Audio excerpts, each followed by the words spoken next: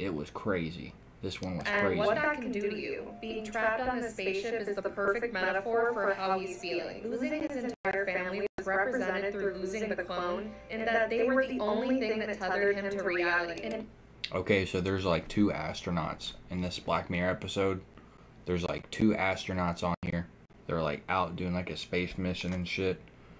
So like these two guys, one of them is Jesse from Breaking Bad, Aaron Paul. So they're like out here like in space, but they actually have like two like human, not human like robot versions of themselves in at Earth. So they can still like interact with their families and do whatever. Um they're like like some of like the only people like on earth you know that have like like a robot self of them that they can sort of like link into. They like go into into the mind of like that robot and it looks just like them. And shit anyway this guy he goes and and does it and his like family gets murdered in it right? So then he starts using the other guy's link and he goes down there and it just gets wild because he's sort of living like a different life